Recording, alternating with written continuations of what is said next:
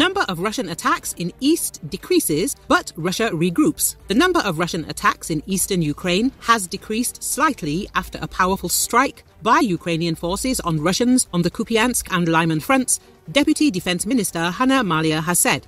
Over the past week and even yesterday, on the first day of this week, we have recorded a quantitative decrease in attacks and the number of attacks in the east.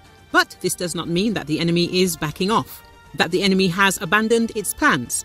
It's just that our troops attacked the enemy very powerfully when they became more active on the Kupiansk and Lyman fronts. Indeed, our soldiers have stopped them very effectively there, killing a lot of enemy fighters and destroying a lot of equipment.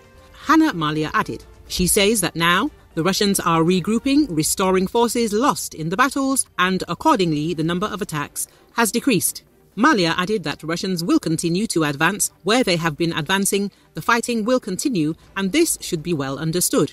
She says that on the Bakhmut front, Ukrainian soldiers are gradually but confidently moving forward on the southern flank with battles and obstacles because there are mines and air and artillery attacks. It's very difficult, but they are moving forward.